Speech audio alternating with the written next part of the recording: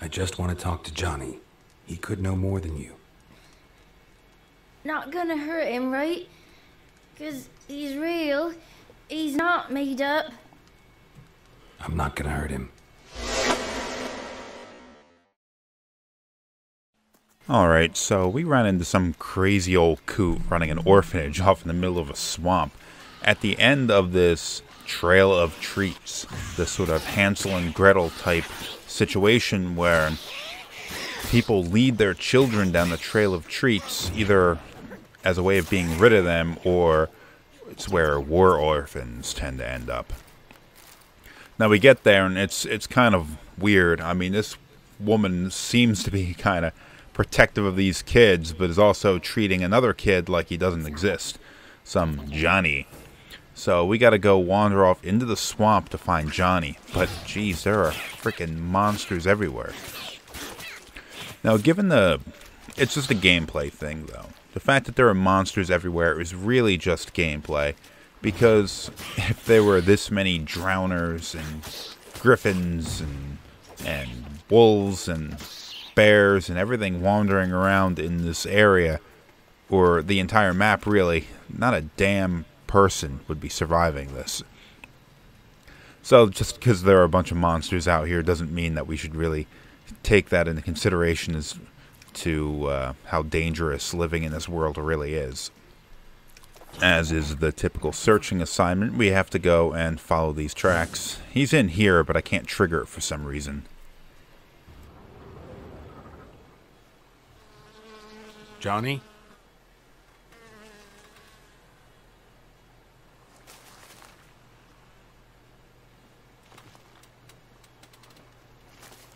Don't be afraid.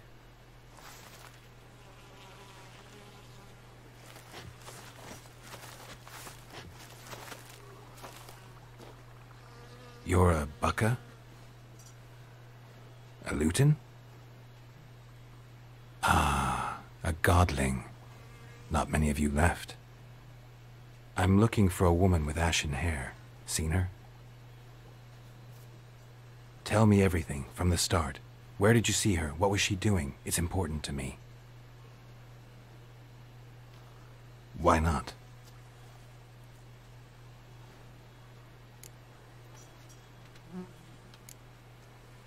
You know the kids from the clearing well? Don't be afraid. Not gonna hurt anyone.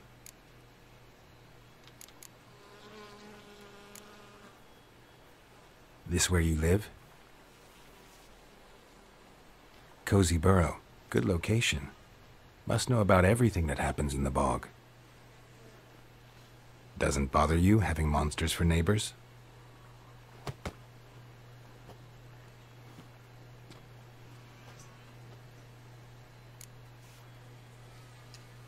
What's wrong? Can't talk? Why?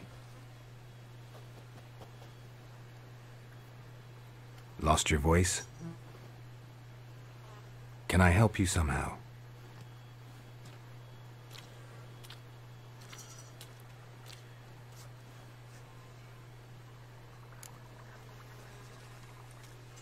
Want me to follow you? No choice, I guess. I don't know what a godling is supposed to be, but he's clearly some non-human individual. Um, Geralt took a little bit to figure out what he was too, so he's probably pretty rare. In fact, you know what? In fact, he even said that there aren't many of them left around anymore. The impression I get from, not necessarily from the gameplay, because of course, as I said, there are monsters everywhere, but from the story in general, is that you're sort of in a world full of monsters, but the numbers of monsters are kind of dwindling. Witchers have been running around killing these damn things for so long, and other people have been killing these things for so long that you're kind of eliminating all of the non-human individuals, uh, monsters. This goes along for the like the sentient beings too, the human, not the humans, but like dwarves and elves and all that kind of stuff. Everybody that's not a human seems to be under some sort of persecution or being exterminated slowly. Now, for the monsters, I mean, I guess you could think of them as just being wildlife, even so. If they're wildlife, then it's just sort of exterminating species. But I think most of the monsters in this series are like magically created and therefore unnatural. This the place? Let me look around.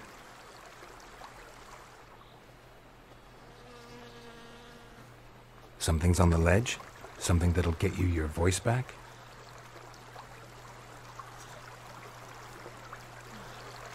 Guess I gotta make this climb. There's a harpy nest up there, and there's some kind of a dragon. So we gotta get up there, and we gotta friggin' I, I don't know how the hell somebody loses their voice. I guess there's a lot of stuff in folklore about a voice being captured and stored in a bottle. And most of the uh, most of the stories and stuff in this game series seem to be based on ancient folklore and that kind of stuff. I mean, look at the Trail of Treats stuff like that. So I guess they that's where that comes from, but I'm not sure if we ever even find out who took Johnny's voice or why. It's funny to note that we've actually left the swamp. We're not in the swamp anymore when we're fighting this thing or these things. So it's the swamp actually does occupy a pretty big section on the map, but as with as is with everything in this game, you can find your way to the other side of it pretty quickly. Crossbow is pretty useful for taking down flying creatures, especially since it's got kind of an auto aim thing as long as you let it. That was a wyvern, I guess. Oh, got something else too. Nice. Yep, run down the hill, back into the swamp. Here.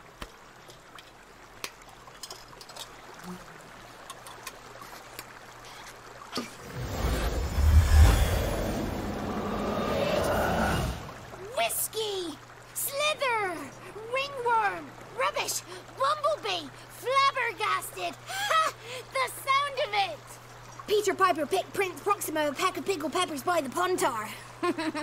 Done celebrating? My favorite words! Life without savoring the sound of surreptitious shenanigans is like licking snails through a cloth. Thank you for this, noble whoever you are. Long be your life. Hang on a minute. I helped you, now you help me. Would you turn this beautiful act of altruism into a banal bartering of favors? How'd you lose your voice? One morning I awoke and opened my mouth for my usual bout of singing with the thrushes. Lo and behold, no sound escaped. I tried and tried, almost burst a blood vessel. Then I went to the village, because word has it the new cunning woman works miracles. But people began crying out, A smudger! A smudger! And sick their dogs on me. Do I look like a smudger to you? Not a bit. Oh, I thought not. So it must be the crone's doing. Who else would curse me? Blackbird friend of mine located my voice, but I was helpless to retrieve it. Couldn't ask a raven friend to just give you the bottle? Ravens serve the crones. They don't help no one. How do you lock someone's voice in a bottle? Just wondering. As am I, especially as mine's a voice to crown all voices. Sometimes it's like a forest brook, at others like a roll of thunder. And let's be honest, I talk enough to fill three barrels or more. Somebody used some powerful magic on you, as a prank or just to be mean.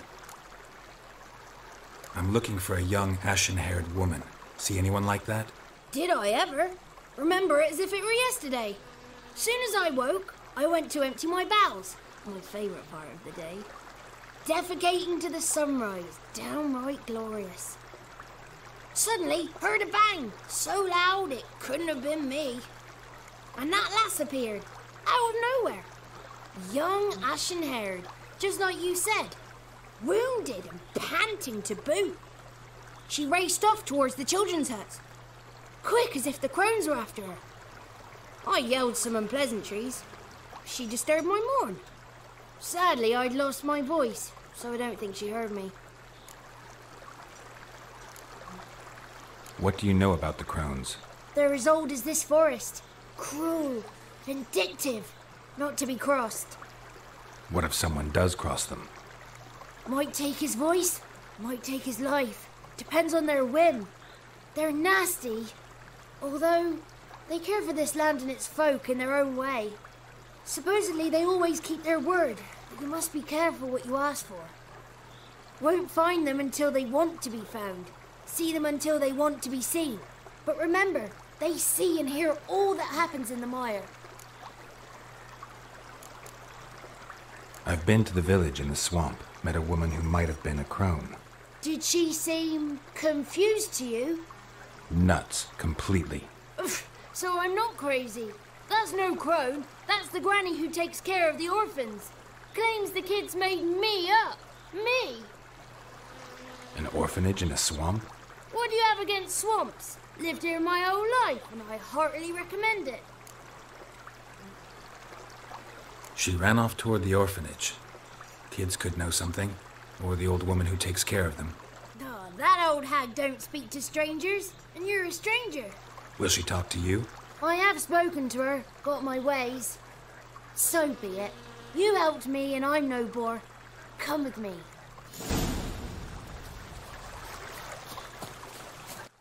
All right, I took a minute to look it up while the conversation was playing out, and the godling is a classified as a relic. Is an is a kind of childlike species of of their. Well, I don't want to call them monsters because he's clearly an intelligent thing, but it's sort of like a guardian creature which watches over people.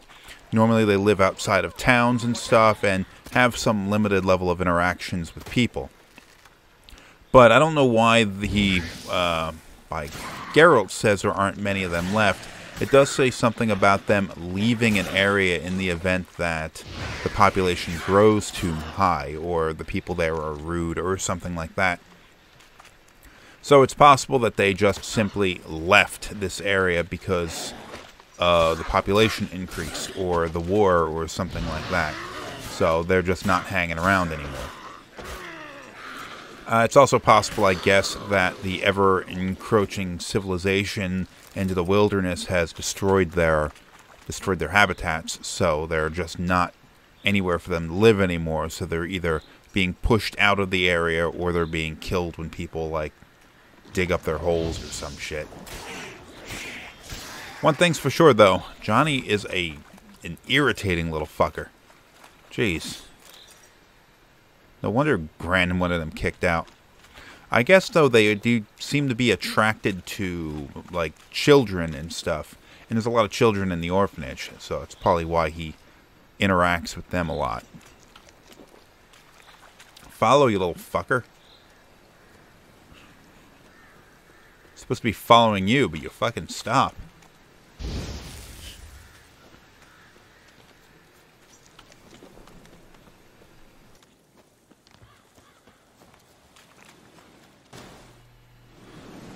Good. It's clear. Not a crone in sight. I need to sing to Gran. That ought to calm her.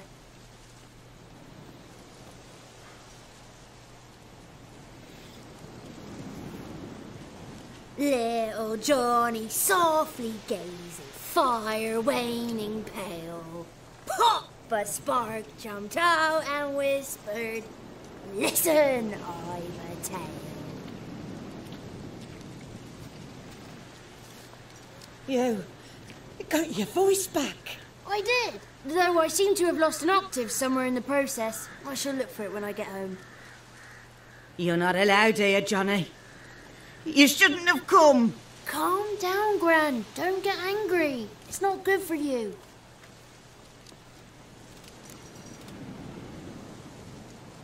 The woman I asked about earlier. Forgive me, Gran, but this fellow absolutely must talk to the ladies. No, she's not allowed. Please, it's important. The fellow will be quiet. Gran, please hear me out. I found little Yagna when she got lost, did I not? Did I break Jenny's fever too? I did. I ask anything in return? No. Didn't even fuss about my stolen voice. Well, now I want something. Gran, help this fellow.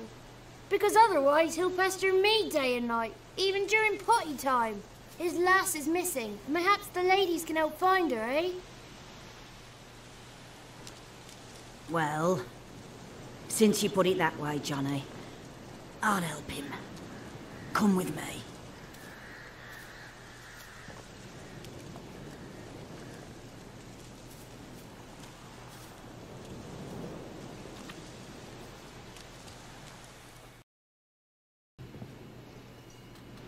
A dark power has surfaced near Downwarren.